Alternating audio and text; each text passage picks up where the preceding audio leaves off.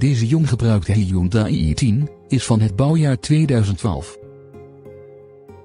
De auto is dieder onderhouden en er staat slechts 31.450 kilometer op de teller. De Hyundai is uitgerust met een benzinemotor.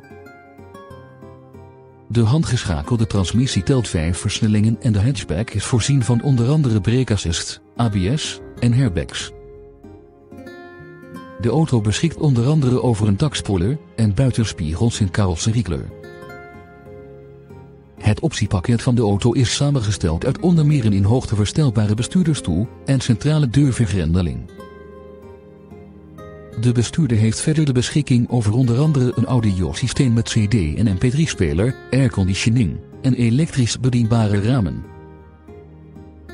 Is deze auto, die wordt geleverd met Nationale Autopas, iets voor u?